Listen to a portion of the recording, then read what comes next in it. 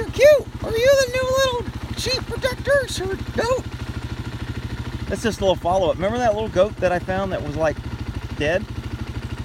Uh, these dogs like showed up like the next day. So I'm thinking something probably killed it. And I heard there was a couple of uh, bobcats or mountain lions around here.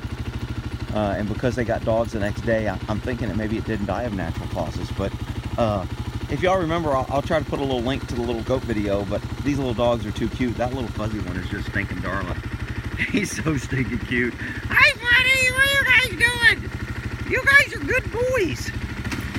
I'm gonna go. You better get going. I'm gonna go. What are you doing? they were chasing me. what are you guys doing? You guys are good boys. You watch the little goats. You watch the little goats. I know.